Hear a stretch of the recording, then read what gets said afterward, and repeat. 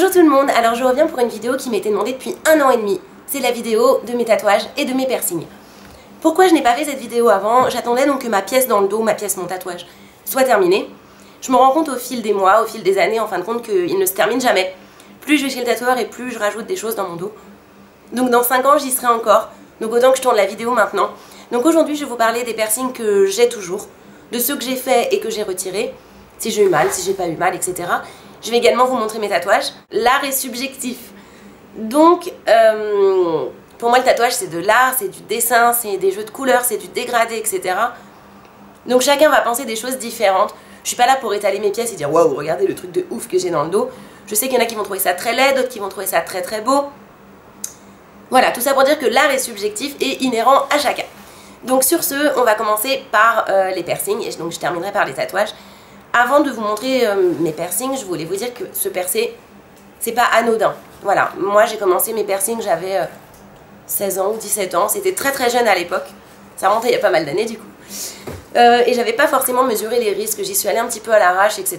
Bon, heureusement tout s'est bien passé, mais ce percé c'est quand même prendre des risques. Un piercing c'est une plaie, c'est quelque chose qui peut s'infecter, c'est quelque chose qui peut vous apporter une septicémie, on peut mourir d'une septicémie. C'est quelque chose, donc il faut vraiment faire très attention. Euh, ça demande beaucoup d'hygiène, ça demande du temps. Euh, avant de se faire percer, il faut visiter différents magasins, ne pas aller n'importe où, aller dans des endroits qui sont propres, regarder sur internet, sur des forums, s'il y a des trucs bizarres sur la boutique, etc. Enfin voilà, ne vous percez pas à n'importe quel âge, pensez également à votre futur métier ou à votre métier actuel. Les piercings laissent des cicatrices, bien souvent, pas toujours évidemment, on va me dire non, moi j'en ai pas. Certes, mais moi par exemple j'en ai gardé des cicatrices, mes amis en ont gardé aussi. Donc il faut vraiment mesurer euh, l'impact et penser au futur euh, de vos piercings. J'ai pas envie de véhiculer un mauvais message et j'ai pas envie que ma vidéo soit un élément déclencheur pour aller se faire percer de partout ou se faire tatouer de partout. Voilà, il faut quand même rester plus ou moins raisonnable. Et euh, si vous êtes mineur, toujours demandez l'accord de vos parents, ne jamais aller, vous faire percer sans vos parents. Voilà, si on demande des accords des parents et qu'on fait signer des décharges, c'est pas pour rien. Alors, en tout, j'ai eu 10 piercings et j'en ai conservé à l'heure actuelle 5. Donc, je me suis fait percer toujours à Paris, donc dans deux magasins principalement, American Body Art et Abraxas. Pour moi, à l'époque, c'était de, très très très bons magasins. Aujourd'hui, je dirigerai plus vers Abraxas qu'American Body Art. Voilà, je trouve que le magasin est plus propre, plus pro, etc. Ça fait tellement longtemps que je me suis pas fait percer que les choses ont probablement évolué. Donc je sais pas si je suis d'un excellent conseil pour vous diriger vers tel ou tel magasin. Pour les tatouages, oui. Pour les piercings, je pense que mon avis est un petit peu obsolète. Alors, je suis habillée un petit peu à l'arrache, hein, avec un t-shirt découpé, pourri de soirée. Euh, c'est pour montrer plus facilement les tatouages et les piercings. Donc, euh, je vais commencer par le nombril. Et au nombril, j'en ai deux. J'ai un piercing en haut et un piercing en bas. Alors, voilà le premier piercing que je me suis fait. Donc, c'est le nombril, ici. Donc, comme vous pouvez le voir, je ne suis pas percée en 1,6. Je suis percée en 1,2. Parce que je trouve ça plus joli, en fait. Et euh, voilà, la barre est plus petite. C'est plus discret. Voilà, donc il a mis extrêmement longtemps à cicatriser, ça a été une horreur pour moi, il a mis à peu près un an. J'ai fait infection sur infection. Et un matin, je me suis réveillée, il avait cicatrisé. Je n'ai absolument pas eu mal, mais voilà, le nombril, c'est une zone qui s'infecte très vite. Donc voilà, il faut vraiment faire attention. Ensuite, donc je me suis fait percer le bas. Ça n'a pas été mon deuxième piercing, hein. mais, euh, mais voilà, c'est dans la même zone, donc je le montre en même temps. Alors, celui-ci m'a fait un petit peu plus mal. J'ai été percée en 1,6 donc les deux, j'ai été percée en 1,6 et après je suis partie sur une barre en 1,2. Hein. Donc celui-ci m'a fait beaucoup plus mal. Non, c'était pas atroce non plus, hein, faut pas délirer. Euh, mais il a cicatrisé en deux mois. Voilà. Donc ça, c'était le kiff total pour moi. Un petit peu douloureux au départ, mais ensuite une cicatrisation très rapide et euh, changement de bijoux très très vite. Donc alors si vous voulez savoir où j'ai ce petit bijou là, en fait je l'ai acheté sur un marché sur un marché à la Seine-sur-Mer. Ensuite, dans les piercings que j'ai conservés, euh, vous connaissez, vous l'avez déjà vu, la langue. Pour faire ce piercing, je n'ai absolument rien senti. Bah, vraiment, l'aiguille rentre comme dans du beurre. De toute façon, en une seconde, hein, c'est bouclé, c'est terminé. Par contre, le après, au niveau de la cicatrisation, c'est un petit peu relou. Parce que moi, pendant deux jours, j'ai eu beaucoup de mal. Enfin, la langue gonfle énormément. Je me rappelle, je, dormais, j'avais la langue qui sortait de la bouche et je bavais, je bavais, je bavais. Je suçais des glaçons pour, euh, pour avoir moins mal. Donc ça a duré deux jours et pendant deux jours c'est vrai qu'on a des difficultés à manger, on a des difficultés à boire. C'est, enfin pas à boire, à manger pardon. Donc c'est assez désagréable. Et, mais voilà, au bout du troisième jour, tout était nickel, je parlais tout à fait correctement. Ne vous faites pas percer trop au bord de la langue. Pourquoi? Parce que vous allez vous mettre à zozoter. C'est insupportable. Les gens qui ont des piercings et qui zozotent à cause du piercing, bien évidemment, moi ça me, je focalise sur, euh, voilà, sur leur bruit de bouche et ça me rend complètement dingue en fait. Également, si vous avez des piercings et que vous mettez des boules énormes là-haut, ça vous fait zozoter aussi. Je trouve ça affreux et même à la vue, je trouve ça moche parce que j'ai l'impression qu'on qu'il y a un steak caché euh, sur la langue. Donc je trouve ça, bon, après c'est mon avis, ça reste subjectif. Voilà, moi je trouve ça affreux aussi. Mais bon, en tout cas, au niveau du piercing en lui-même, pas de douleur. La cicatrisation, 2 à 3 jours, douloureuse et chiante. Mais voilà, sinon j'ai eu absolument aucun problème. Je ne connais personne non plus qui a eu des soucis. Donc euh, voilà, mais bon, ça demande pareil de faire des bains de bouche, etc. Ça demande beaucoup de soins et donc euh, d'entretien et ça demande beaucoup, euh, bah, voilà, beaucoup d'hygiène en fait. Celui-ci, vous avez pu le voir dans différentes vidéos également, il s'agit du tragus. Donc voilà, c'est cette partie-là de l'oreille que j'ai fait il y a fort longtemps. Et donc, je vais pas vous mentir, je l'ai senti passer. Donc c'est un endroit qui est un petit peu chiant à percer parce qu'on a tous un tragus qui est plus ou moins gros, le mien est pas, est pas énorme. Donc pour euh, bien viser, euh, hein, mettre l'aiguille, euh, ça demande beaucoup de précision. Le piercing est très rapide en lui-même. Mais ceci dit, ce qui est assez effrayant, moi à l'époque, ce qui m'avait effrayé, c'est le crack que j'ai entendu quand l'aiguille est passée. Ça a été vraiment un crack, j'ai eu l'impression qu'il était dans ma tête le truc. C'était assez drôle. Et le piercing s'est très bien passé. Voilà, ça dure vraiment une seconde, hein, donc ça fait crack et voilà, c'est bon, le cathéter est passé. On vous passe le bijou. Donc à l'origine, on m'avait mis un anneau. Mais bon, ça fait au moins, ça fait plus de 10 ans que je l'ai, donc, donc évidemment, ça fait belle lurette que j'ai changé. Au niveau de la cicatrisation, j'ai mis à peu près 3-4 mois à cicatriser. C'est chiant pour dormir et pour euh, enlever et mettre les fringues. Pourquoi? Parce que les pulls, etc. vont se raccrocher dedans, vont toucher, ça fait mal. Dormir, euh, bah, si, vous le faites sur le côté où vous aimez poser euh, l'oreiller en dessous, bah, c'est relou, parce que ça fait mal également. Mais voilà, la douleur part très très vite et la cicatrisation en règle générale se passe bien. Donc attention sur les piercings qui touchent le cartilage on peut développer, euh, je sais plus, ça porte un nom que j'ai oublié. Ça peut former des boules, des boules de chair à la base du trou ici, qui sont affreuses et qui parfois ne partent jamais. Ce que je trouve affreusement moche, parce qu'on pourrait croire que c'est une infection, alors que c'est pas une infection, c'est une espèce de boule de cartilage qui ressort, qui est rouge. Et, je trouve ça vraiment pas beau. Donc moi personnellement, si vous avez ce genre de problème dans les oreilles sur vos piercings, je vous conseillerais de l'enlever parce que c'est vraiment vraiment moche. Et donc le dernier piercing que j'ai gardé aujourd'hui, il y en a pas mal qui l'ont remarqué dans les vidéos, euh, c'est le rook. Alors il y en a qui l'appellent le rock, il y en a qui l'appellent le rook, moi je l'appelle le rook. Ça fait plus de 10 ans que je l'ai aussi, à l'époque c'était vraiment très très rare euh, de retrouver ce type de piercing, mis à part sur les junkies ou sur les punks. Et donc c'est celui-ci, donc je vais zoomer. Alors, je vais pas vous mentir non plus, là pour le coup, j'ai eu mal. J'ai eu mal parce que vous voyez, on prend vraiment le croquant de l'oreille ici, la partie du cartilage est très épaisse à trouer et franchement, j'ai eu mal. J'ai euh, un tout petit peu saigné. Pas grand chose non plus. Mais euh, quand l'aiguille est passée, ça a fait crac, crac, crac partout. C'était très désagréable. Et au niveau de la cicatrisation, c'était super relou. Au départ, on m'avait mis un anneau, donc justement pour bien, pour bien effectuer le nettoyage. Et en fait, qu'il n'y ait pas de, de petites croûtes justement qui restent coincées dans la barre. Je trouve ça plus, plus hygiénique en fait de se faire percer avec un anneau qu'avec une barre directement. Bref, après, c'est question d'avis. La cicatrisation, elle était longue, elle a pris à peu près 6 mois douloureux pour dormir, douloureux lorsqu'on passe des vêtements, euh, douloureux quand on se coiffe aussi, pareil que pour le tragus. Quand on se coiffe, euh, la brosse s'accroche souvent dedans au moment où on s'y attend pas et ça fait mal. Voilà, mais bon, sinon j'ai jamais rencontré euh, de soucis avec mon rook. Changer de, changer de piercing est ultra relou parce qu'on a du mal à passer les doigts dans, bah, dans cette zone. Si on a des ongles, c'est une catastrophe, faut prendre des pinces, etc. ou demander à des amis de nous le faire. Donc j'ai eu ce qu'on appelle le labret. Donc le labret c'est ici. Donc vous pouvez voir aujourd'hui ma cicatrice. Donc je parlais de cicatrice tout à l'heure. Je l'ai fait il y a une dizaine d'années également. C'est un piercing qui ne fait pas mal comme la langue, ça passe comme dans du beurre. Cicatrisation très rapide, une douleur pendant un mois, un mois et demi. Une douleur, euh, voilà, pas grand chose pendant un mois et demi. Par contre, euh, donc derrière, on a une petite barre avec, avec un plat à l'arrière. Par contre, ça m'a abîmé les dents du bas. Je ne joue pas avec mes piercings, je ne joue jamais, ni avec celui de la langue, ni avec celui du labret.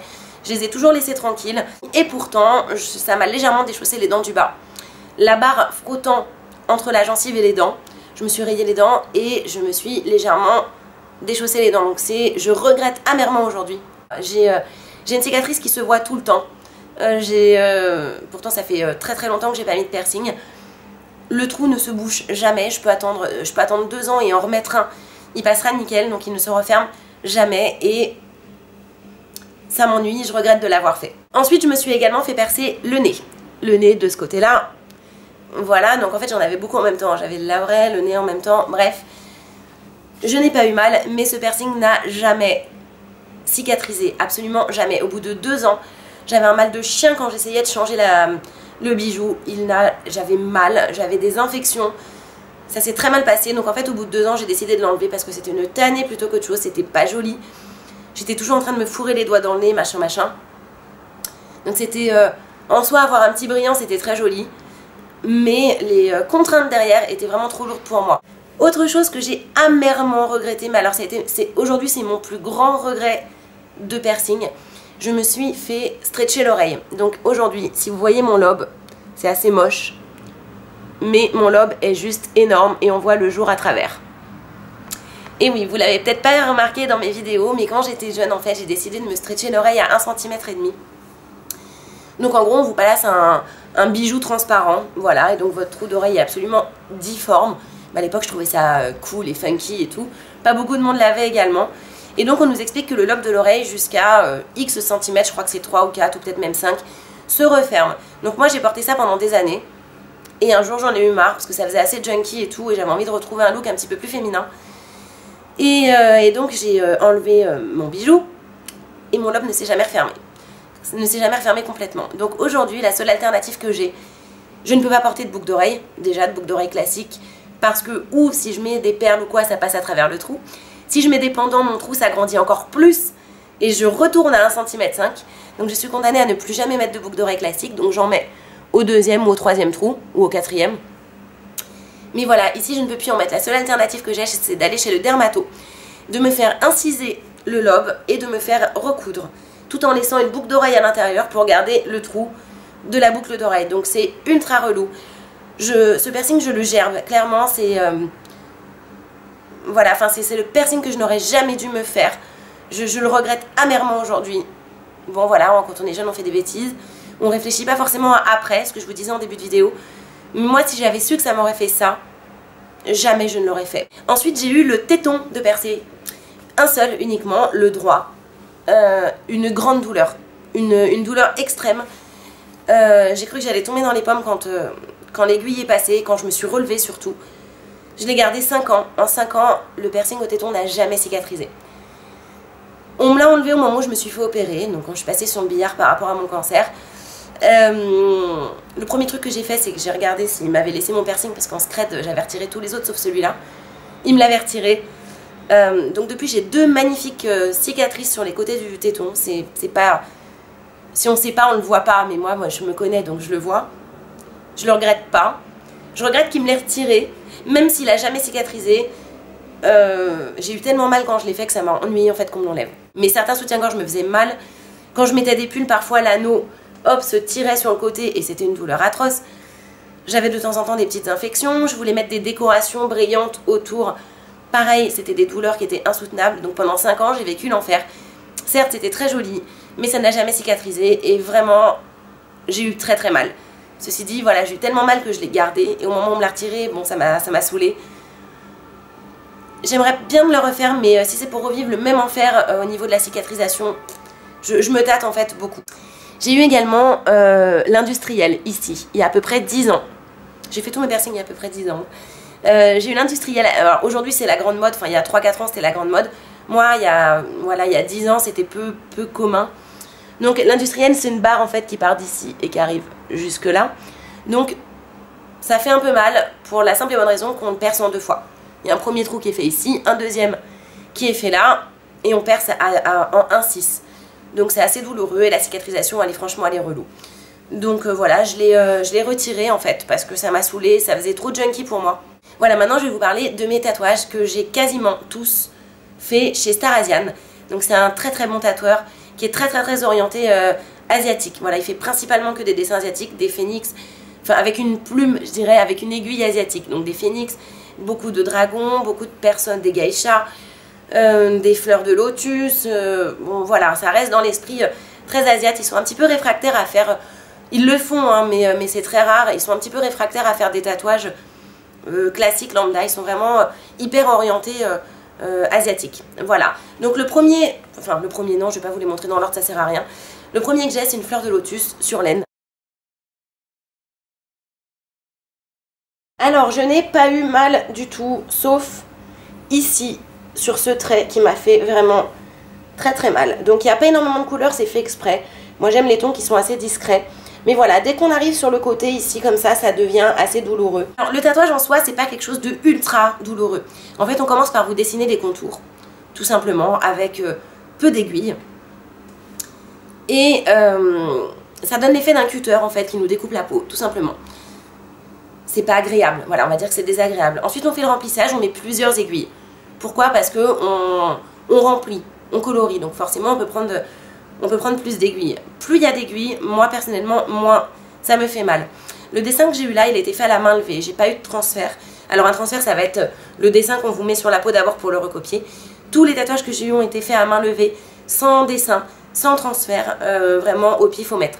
Donc je trouve qu'ils ont été plutôt, enfin en tout cas que celui-là a été, euh, a été très réussi.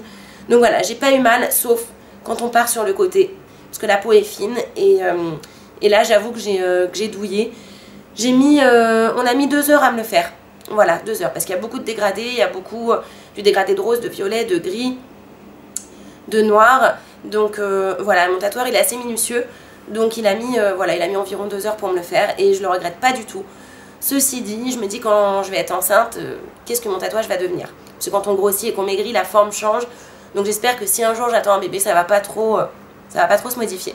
Ensuite, je vais vous montrer le tatouage que j'ai dans le dos, qui est énorme, donc qui part de ma fesse donc évidemment je vais pas vous baisser mon pantalon, qui traverse tout mon dos et qui repart de l'autre côté. Donc j'ai eu à peu près 30 heures d'aiguille dessus, je l'ai fait bien sûr en plusieurs fois, il n'est pas terminé à l'heure actuelle, et donc j'ai toujours fait chez Star Asian, euh, donc c'est à euh, boulevard euh, métro Saint-Ambroise, donc vers République. Et donc de l'autre côté j'ai un rescapé, un oiseau, je vous montrerai tout après. Mais cet oiseau là, il date d'il y a 10 ans, donc vous allez vraiment voir la différence entre le nouveau tatouage et l'ancien. Euh, le nouveau est beaucoup plus fin et l'ancien est beaucoup plus étalé, beaucoup plus moche. Et donc je vais très bientôt le faire retaper en fait pour qu'il se fonde dans la masse du nouveau.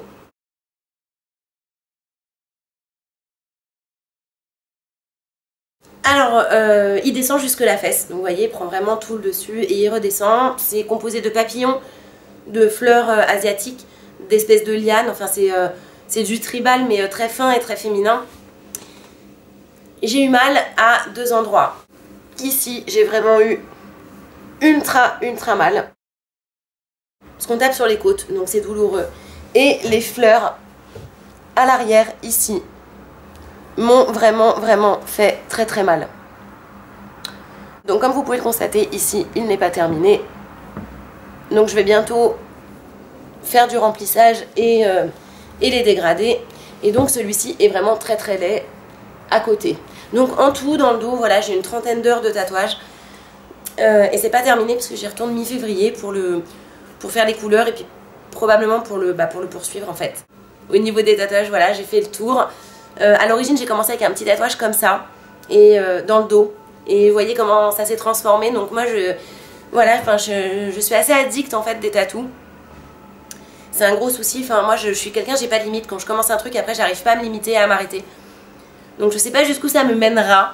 Mais euh, en tout cas, une chose est sûre, c'est que je déteste me tatouer. Enfin, je déteste. Je ne. J'ai refusé de me tatouer à des endroits que je vois régulièrement durant la journée. J'ai pas de tatouage visible sur mes mains, sur mes bras, euh, ici. Parce que je préfère ne pas voir mes tatouages. Voilà, il y en a, il est dans mon pantalon, l'autre, il est dans mon dos. Je préfère pas les voir parce qu'en fait, moi, je les vois et moi, je leur trouve de défauts. Tout simplement, je pense que voir un tatouage tout le temps, tout le temps sur soi, je pense qu'au bout d'un moment, on fait « Ah, j'aurais peut-être dû faire ci, j'aurais peut-être dû faire ça. » Bon, ben, ben moi je les vois pas, comme ça, même quand je les regarde dans une glace, je, suis obligée de me mettre loin, donc je vois pas les détails. Et, euh, et du coup, je ne m'en lasse pas. Donc j'ai oublié de vous dire que vous avez vu que dans mon dos, il y a quand même pas mal de jeux de dégradés. C'est assez long à faire. Et euh, n'allez pas chez n'importe qui si vous voulez des, si vous voulez des beaux dégradés. N'oubliez jamais de regarder surtout le book du tatoueur avant. De taper pareil son nom dans Google, le googliser pour voir son historique, pour voir comment il pique, pour voir ce que les gens disent de lui. Et, euh, voilà. Donc euh, je pense que j'ai tout dit sur mes tatouages. Donc si vous avez des questions, vous n'hésitez pas à me, à me les poser. Ah oui, alors en tout, dans le dos, je pense que en tout et pour tout, hein, parce que ça fait des années, des années que je, le travaille, je pense qu'en mettant bout à bout les sommes que j'ai payées, j'en ai pour 1200 euros. Et euh, pour, euh, pour le lotus sur laine, je crois que j'en ai eu pour 250 ou 300. Voilà. Voilà pour les prix. Par contre, je sais qu'ils ont vraiment augmenté leur prix récemment parce qu'ils sont de plus en plus euh, réputés en fait dans le domaine du tatou et ils, ils, ont de plus en plus de demandes, tout simplement. Voilà, donc n'hésitez pas à me poser toutes vos questions, je vous embrasse bien fort et je vous dis à très bientôt pour de prochaines vidéos. Bye bye